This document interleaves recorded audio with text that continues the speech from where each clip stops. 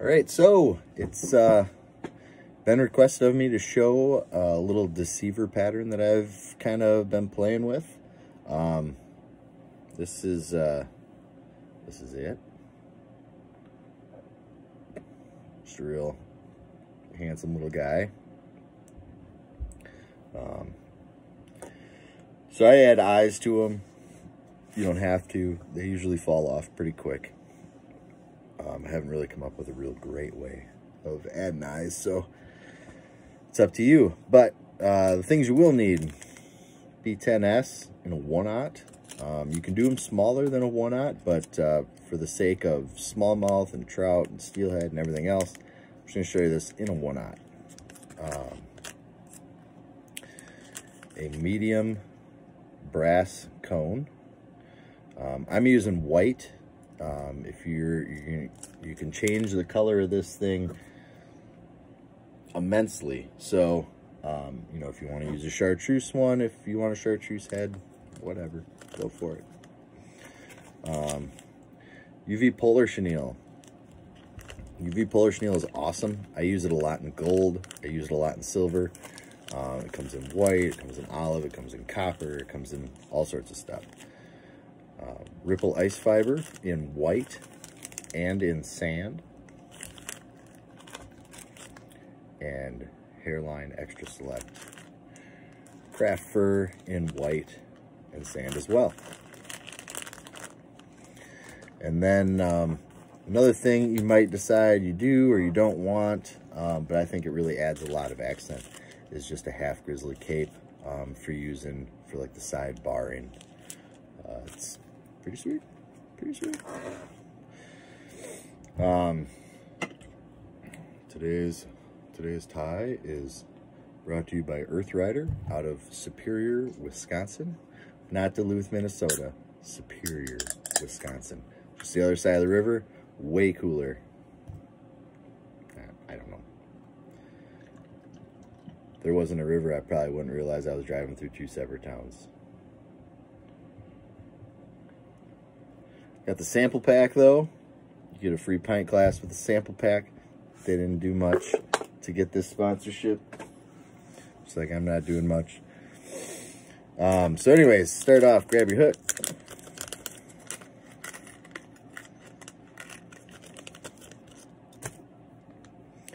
Grab your cone. I'm also using the Veevus uh, 150 denier gel spun um, I like to try to keep the thread as tough as I can without getting it real thick um, because I'm going to tie this guy right up to the eye and I don't want to build a big thread dam up there by the eye. So go ahead and get your cone on. Like I said, I'm using the medium. Um, if you're fishing in a place where the current's a lot faster and a lot deeper, throw a large cone on. Get it down there a little bit more. This is where you get to decide right now. Um, so anyways, to kind of go along with the, this is a fairly bomb-proof um, thing. We'll go ahead and use Zap-A-Gap. A lot of times, guys will have problems with these flies twisting uh, on these types of hooks, or like smallmouth flies twisting, and um, any step I can take to try to create a better bond, I'll do. Um, start about if the cone's all the way up to the eye, you can probably see it on here. I'm starting about half a cone's length back. Um, and then just getting a good thread base until the curve of the hook starts. Sorry, I'm kind of using black thread here. It's a little tougher, but I brought my thread all the way back to here.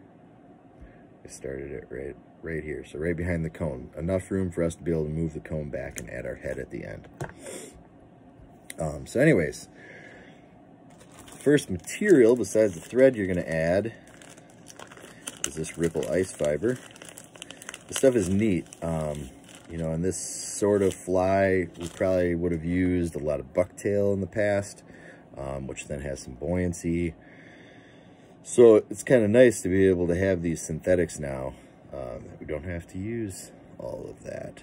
So I tie it on right in the middle of the material or or if anything 60% of it hanging off the back. Really depends on how long your craft fur is that you're going to match up with it here.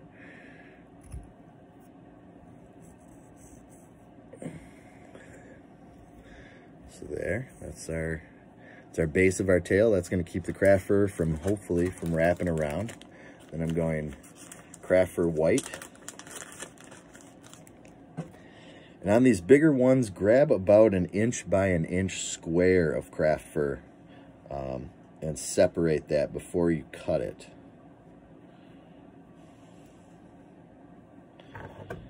And then cut nice and close to the base. Move your fingers out about half an inch or so. And then take your trusty old man comb and just come through those one time. Wow couple times. It'll take all the extra fluff out. You don't need any of that for this particular part. then hold everything, move your fingers back up and get a nice flat cut to it. Hold that right in over your ripple ice fiber so it so it all parks up on top.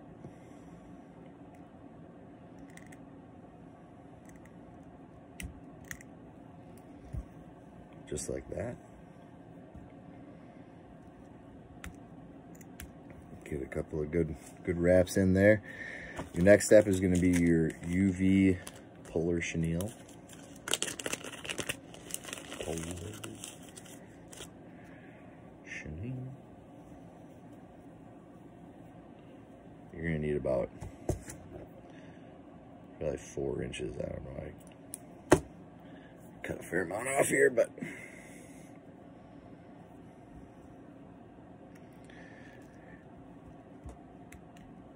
try to get back up. Make sure you connect up with everything else and then bring it up to just shy. See that? See that just, just shy of the hook or just shy of the bead there.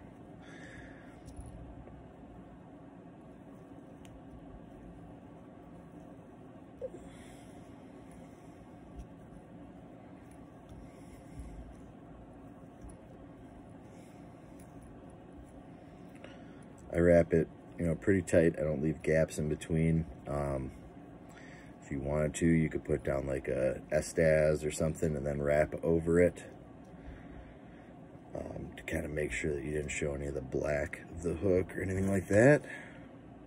But for the most part, it doesn't get seen a whole lot. All right, so then this is where our yellow hackles come in at. Still got a few on this other one here.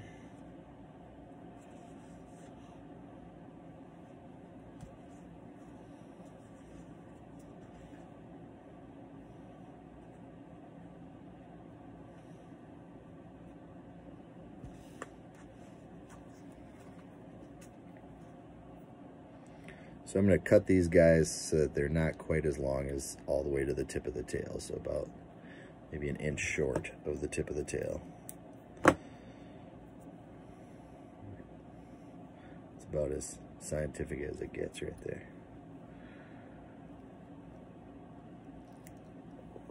Loose wrap, gather that guy up.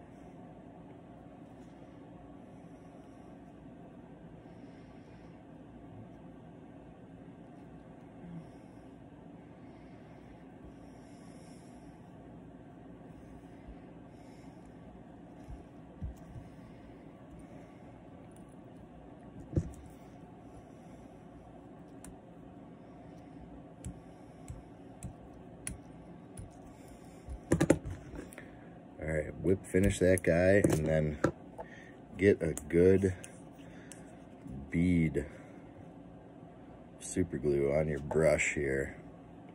Kind of pull all the feathers back, tip the cone up, and just get it right inside the cone there on the threads, everything in there. And then just set your brush back in there. You're gonna need it here in just a second. There we go.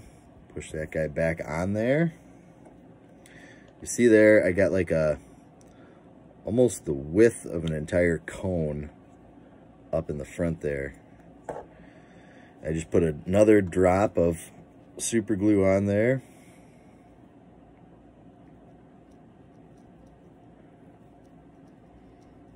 I'll go ahead and get my thread on and go all the way back to the cone. Let your super glue dry a little bit.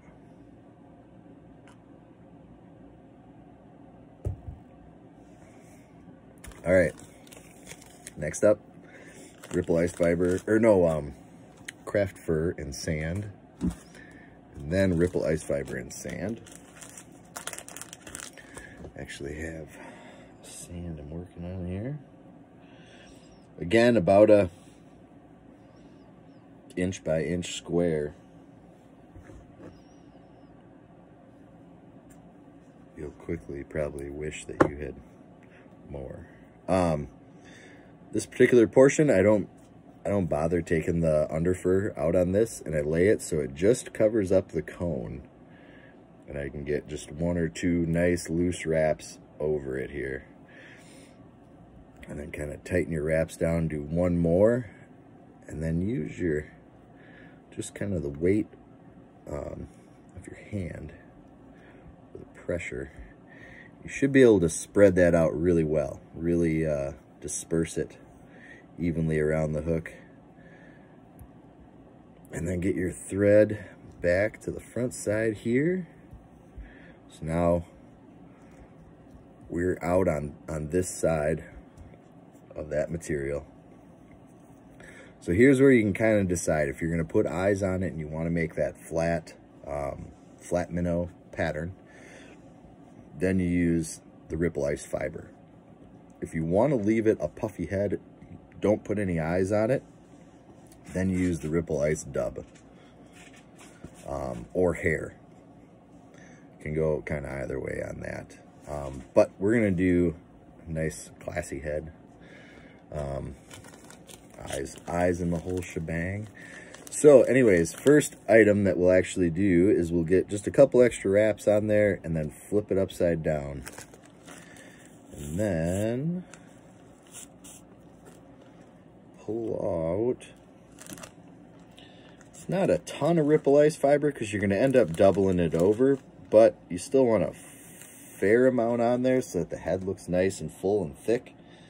So I'm going to say if you clump it all down, know, it's about, it's about that much. It's maybe 50 strands. Um, anyways, you're going to put that on there. You're going to do it about 60-40. And you're going to set it right on there and just do one loose wrap. And just make sure you got it. And then two. And then make sure you rotate that the right way so you're not undoing your thread to flip it over. Then on the top, we're going to use our sand. If you kind of grab the tips of the top of the package here, usually it works itself out pretty decent. You can kind of stack them.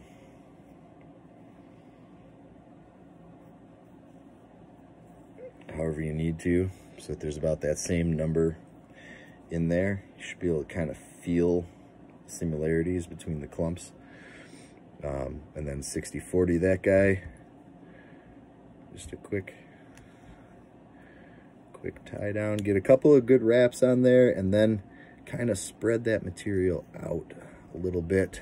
Top, spread it out a little on the bottom.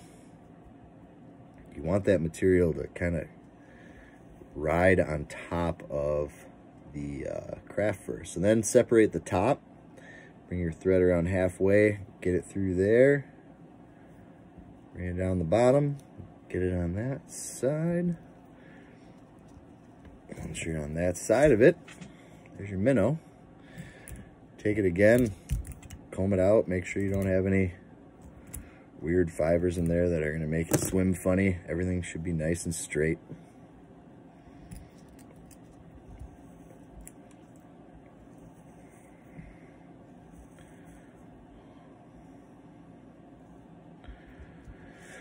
So there it is.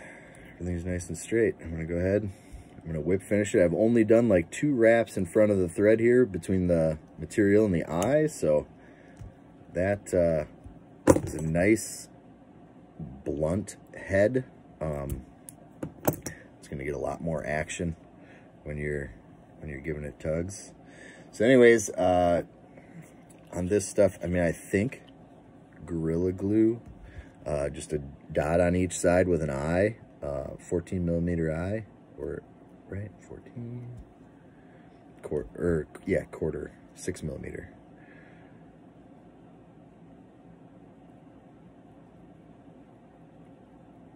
Just a dot on each side, and then got these handsome Misfit dragon eyes. Been digging.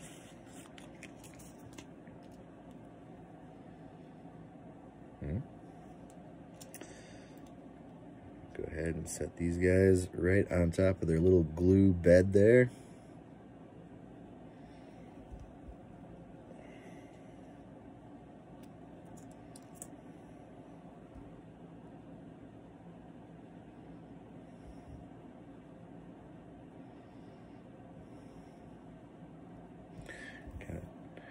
touch at each side here and kind of make sure that you got them kind of seated how you want them and they're not moving back and forth on you. And then my Misfit Clear Cure stuff. of hold it back and then I just kind of I paint the forehead with it. Make sure you kind of push as much in underneath that eye as you can.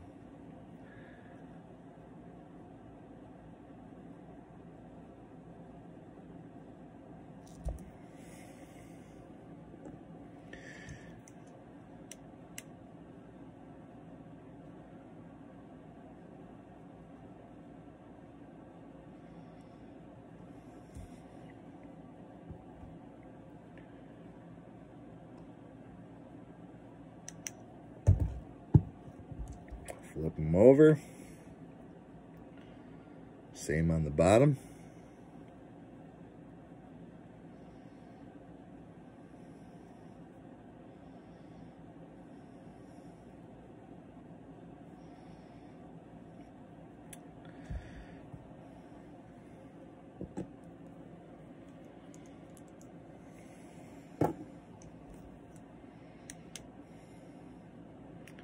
That white is going to be UV, as you can probably tell. It's pretty gorgeous.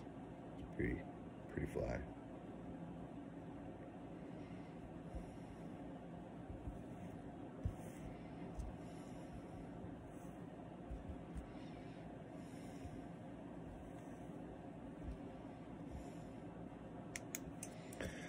There she is. The Golden Shiner Minnow hopefully you guys uh, get what you need out of that. Have a good one. Stay safe.